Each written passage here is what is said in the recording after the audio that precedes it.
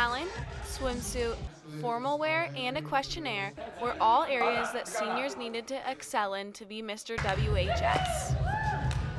SAB member Carly Priebus talks about what the competition is. Mr. WHS is a male beauty pageant that's put on um, by SAB every year that is just really fun.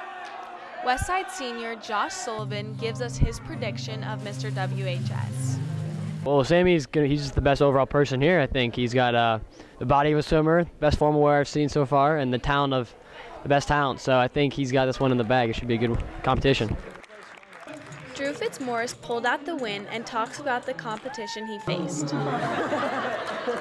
Great competitors tonight. All of them equally deserved to win. I was just uh, fortunate to come out here and get the W.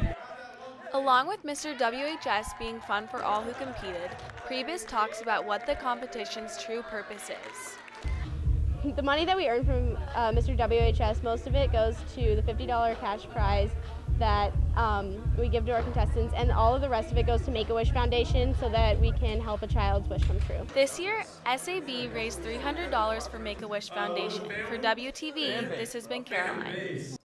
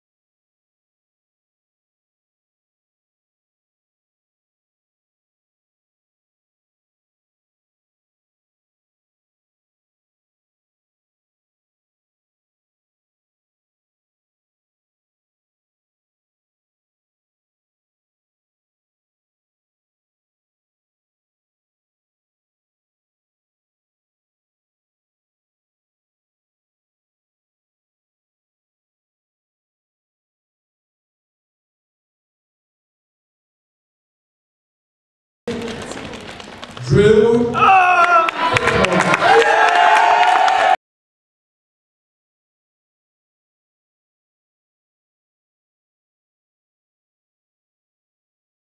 all season long, you know, from four to six o'clock. Yep, football. That's right. Uh, it's uh, it's given me the leadership and the potential to succeed.